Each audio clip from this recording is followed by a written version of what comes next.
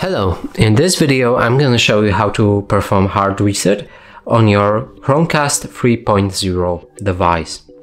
So in front of me I have this device and let me just show you right now how to do it without it actually connected to my TV screen. And as you can see probably here there's this button.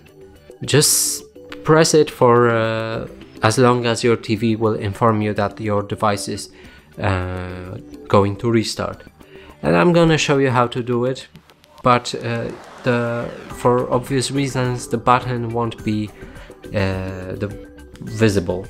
So just do that on yourself, but let me show you how it works without um, such a view detail.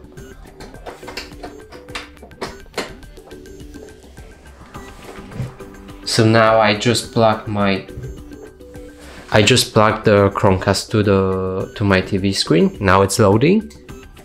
And when it's done, I'm just gonna show you how to perform this hard reset.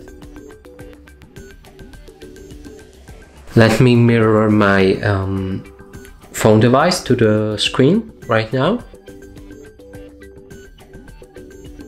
And to hard reset, like I've said, just press this button I've just pressed it and I'll be holding it for about 20 seconds until it's the screen changes. So just watch. As you can see, the device is just restarting and performing uh, factory reset. So that's it for this video. Hope you like it. Please consider subscribing to our channel, leave a like and a comment below.